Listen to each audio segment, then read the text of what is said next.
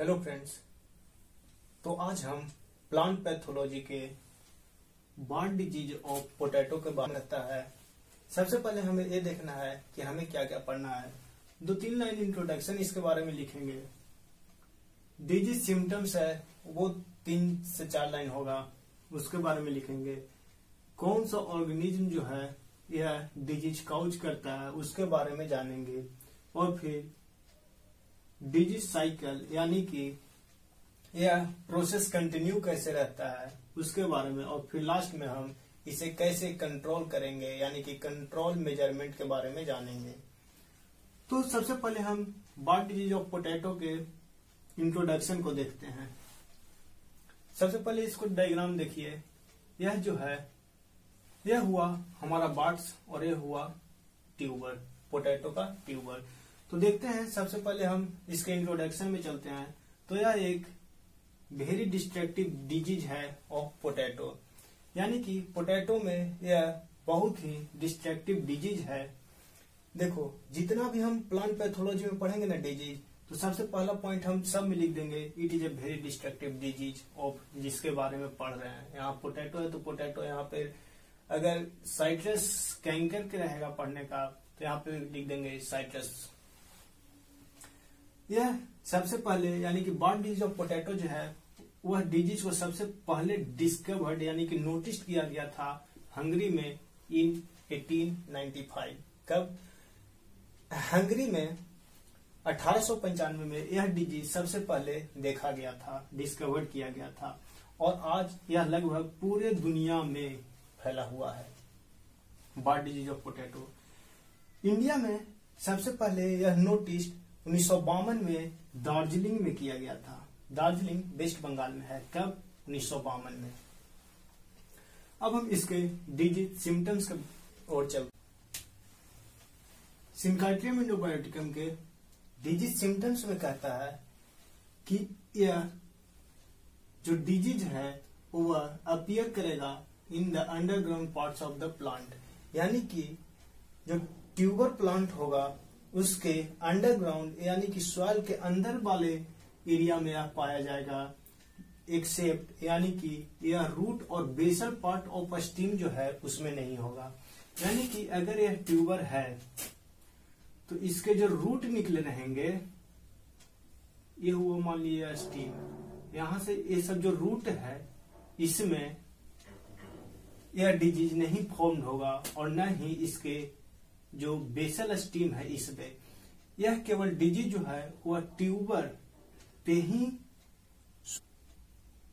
Board disease of potato जो है are in the form of dark brown warts यह dark brown warts के form में होगा इन द इन्फेक्टेड ट्यूबर्स यह बार्ट जो है, वह सिंपल हो सकता है या फिर कॉलीफ्लावर लाइक अपियरेंस भी दे सकता है।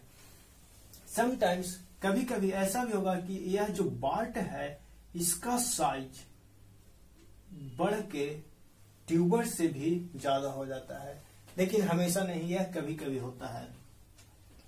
काउजल ऑर्गेनिज्म की बात करते हैं तो यह जो बार्ड डिज़ीज़ ऑफ़ पोटैटो के काउजल ऑर्गेनिज्म यानी कि पैथोजेनिसिक पैथोजेन जो है, वह है एक फंजाई जो कि ओब्लिगेट पैरासाइट है। डिज़ीज़ ऑफ़ पोटैटो, के जो काउजल ऑर्गेनिज्म है, वह एक ओब्लिगेट पैरासाइटिक फंजाई है, जिसका नाम सिंकाइट्रियम इंडोबायोटिकम है। क्या? सिंकाइट्रियम इंडोबायोटिकम है। यह सिंकाइट्रियम इंडोबायोटिकम यानी कि यह जो फंजाई है, वह यूनिफ्लेजिलेट यूनिन्यूक्लिएट और थैले जो है, वह नेकेड होगा। यह अकर करेगा, यानी कि फॉर्म करेगा in the epidermal cells of the host यानी कि ट्यूबर की इपीडर्मल यानी कि ऊपरी सतह में यह फॉर्म करेगा। अब हम इसके तो अब हम सिंकाइट्रियम इंडोबायोटिकम के डिज़ीज़ साइकिल या फिर लाइफ साइकिल जो कहते हैं, उसमें चलते हैं। तो देखिए, यह जू जो है, यानी कि पैथोजन का सिंकाइट्रियम इंडोबायोटिकम का जो जू स्पोर है वह यूनिफ्लेजिलेट और यूनिन्यूक्लिएट है, यानी कि सिंगल फ्लैजिला और सिंगल न्यूक्लियस का है। यानी कि इसमें जो कहते हैं हाइफी और माइसिलियम एबसेंट रहेगा। क्योंकि यहाँ केवल एक ही सेल का यह बना हुआ है।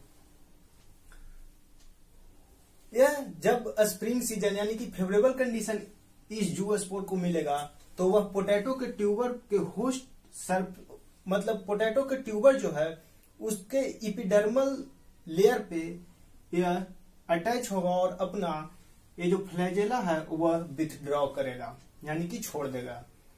उसके बाद यह बाय जो जू स्पोर है पेनिट्रेट करेगा इनटू द होस्ट सेल और पेनिट्रेट करने के बाद यह पूरी तरह से उसके अंदर चला जाएगा सेल के अंदर चला जाएगा, और वहाँ से by absorbing nutrients from the cell इसके सेल से या फिर इसके आसपास के सेल से यह न्यूट्रिएंट्स ऑब्जॉर्ब करेगा और ऑब्ज़र्व करके अपना साइज़ इंक्रीज करेगा। साइज़ इंक्रीज करते करते यह डबल लेड बॉल का डेवलपमेंट करेगा। यह जो जूसपुर है, वह अब डबल लेड बॉल बनाएगा और यह डबल लेड बॉल को हम समर स्पोर कहते हैं। यह समर स्पोर जिस सेल में पेनिट्रेट किया, उसमें लोअर हाफ़ में प्रेजेंट होगा, यहाँ प्रेजेंट होगा और वहीं अपना डेवलपमेंट चालू रखेगा। यह जो समर स्पोर है, उसके जो प्रोटोप्लास्ट है वह ट्रांसफॉर्म्ड हो जाएँगे with the nucleus into the vesicle vesicle में यह ट्रांसफॉर्म्ड हो जाएँगे। इसके जो न्यूक्लियस हैं, यह न्यूक्लियस जो है अब जो वेसाइकल बना है, उसके न्यूक्लियस माइटोटिक डिवीज़न करके, कौन सा डिवीज़न माइटोटिक डिवीज़न करके यह लगभग 32 न्यूक्लियाई का स्ट्रक्चर बनाएगा। इस स्ट्रक्चर को हम प्रोसोरस कहेंगे। यानी कि 32 न्यूक्लियाई यहाँ फॉर्म किया है।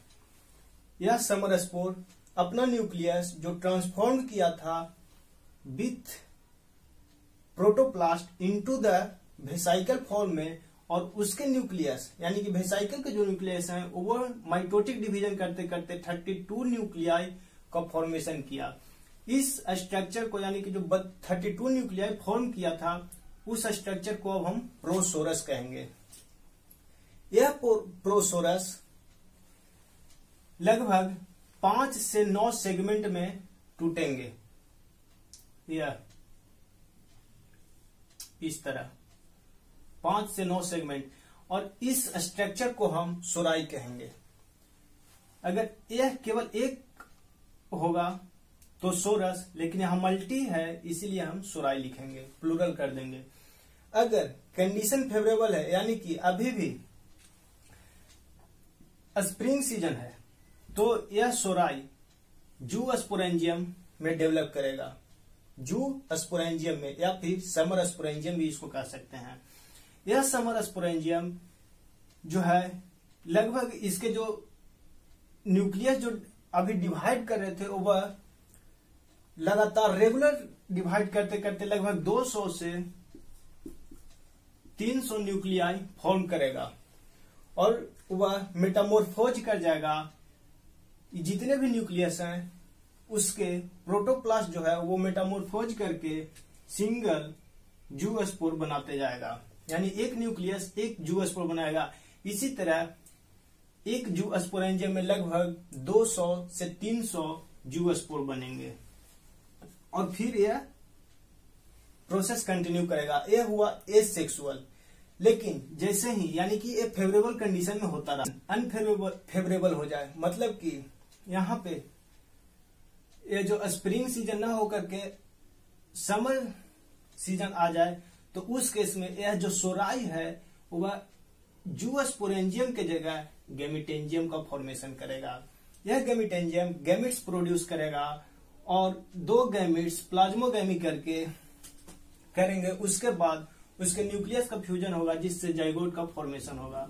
यह जाइगोट पेनिट्रेट करेगा होस्ट सेल में, यानी कि पोटैटो के ट्यूबर में ही यह पेनिट्रेट करेगा। और फिर उसके बाद यह दो, या दो से ज़्यादा मतलब कि तीन लेयर का, दो या तीन लेयर का बॉल बना के यह तब तक इंतज़ार करेगा जब इसका कंडीशन फेवरेबल ना आ जाए। जब ऐसे ही कंडीशन फेवरेबल आएगा तो यह जो रेस्टिंग स्पोरेंजियम है, वह एक्टिव हो जाएगा और उसके न्यूक्लियस मियोटिक डिवीज़न करके, यहाँ मियोटिक डिवीज़न होगा। और उसके बाद माइटोटिक डिवीज़न होते, करते रहेगा रेगुलर और उसी जिस तरह से यहाँ जू स्पोरेंजियम बनाया था, वह अब यह बिंटर स्पोरेंजियम यानी कि फिर रेस्टिंग स्पोरेंजियम जो है, उसके न्यूक्लियस मेटामोरफोज करके जू स्पोर्ट्स का फॉर्मेशन करेंगे। यह प्रोसेस कंटिन्यू रहेगा। तो अब हम इसके नोट्स देखते हैं।